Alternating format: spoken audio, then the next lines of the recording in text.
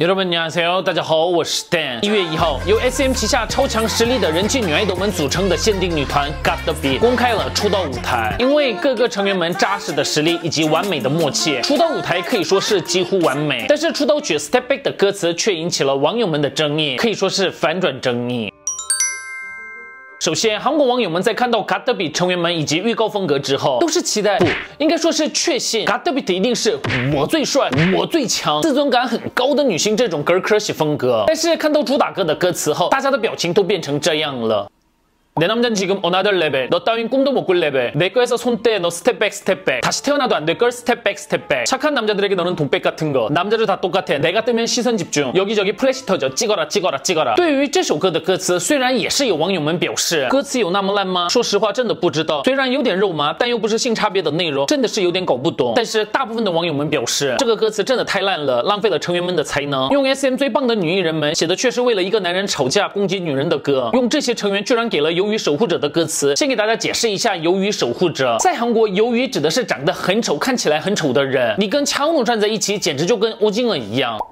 而由于守护者就是指你的对象，其实对别人来说一点吸引力都没有，甚至别人还会觉得很丑，但是你却认为大家都对你的对象有兴趣，所以时时刻刻都保持敌意的同时，还想要故意炫耀自己的男女友。真相是大家根本就不在意，到底是谁写的？这歌词怎么能通过呢？因为一开始有网友们擅自猜测这歌词是莱恩珍写的，而因为莱恩珍之前有过女权争议、贬低女爱豆争议，所以莱恩珍就被非常多的网友们攻击了。但是昨天公开音源后发现，原来作词人不是莱。莱恩珍，而是于英锦，一整天攻击莱恩珍的网友们都被打脸了。唉，于英锦在二十二年前写的《博阿的 Girls Song》歌词。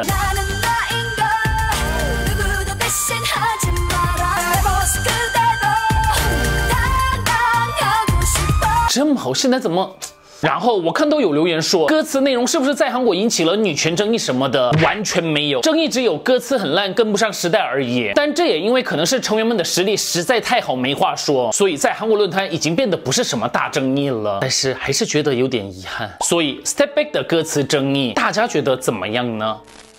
接下来我们来看一下被一级当成公爹的 Twice 切样。首先，公爹就是倚老卖老的意思。然后在韩国，公爹这种人常常会说 La d e n Maria，想当年我们怎么怎么，我们那个时候怎么怎么。在我出道的时候，Wonders 姐姐们发表 Y So Lonely 之后就解散了，Miss A 姐姐们也不在。所以在我很累的时候，这位没有可以请教的前辈，现在想一想，其实我觉得那是很重要的事情。然后现在我有后辈们了，一级妹妹们，后辈很难先对前辈请教什么，所以我就更想为他们做点什么。有。一次我见了吕姐，在姐姐面前她能放松吗？应该不能放松吧。想喂她吃点东西，吃着饭你们聊什么了？就最近是不是很累？那她怎么回答？是有点累，怎么办？拉的，在姐姐嘴里说出了拉的，不行，不是，但是那个说出来了怎么办？是像公的的吗？可能已经把姐姐的电话号码、联络人储存成 JYP 二了。如果是 2PM 或者是 Missy 前辈们对姐姐这样说的话，姐姐会怎么样呢？会喘不过气，在这里道歉吧，姐姐对不起你，让你喘不过气。吕金现在应该会，姐姐没那回事的。然后前几。天在练习室见到了雨娜，所以我就抚摸她的背，对她说了：“最近是不是很累？你现在还是未成年人，马上就二十岁了。明年变成成年人的话，不听都能知道下一句是什么了。”在 JYP 的练习室可能会有姐姐警报器，千阳来了，快按！哇，千阳怎么这么会说话，也很好笑呢？这真的是前后辈两难的部分。有千阳这样的前辈照顾的话，真的会得到安慰。但是最近太乱用“公爹”这个词了，真的是这样。以前只是那种真的很烦人，开口闭口以为自己说的都对，自己什么都经验过的人才叫公的。但是现在只要长辈说点什么，就会被说成是公的，唉，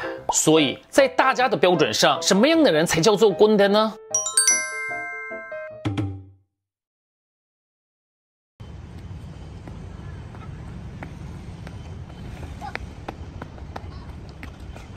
好的，今天的影片就到这里。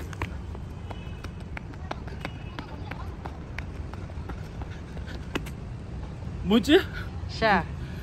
我们 我们下支影片再见，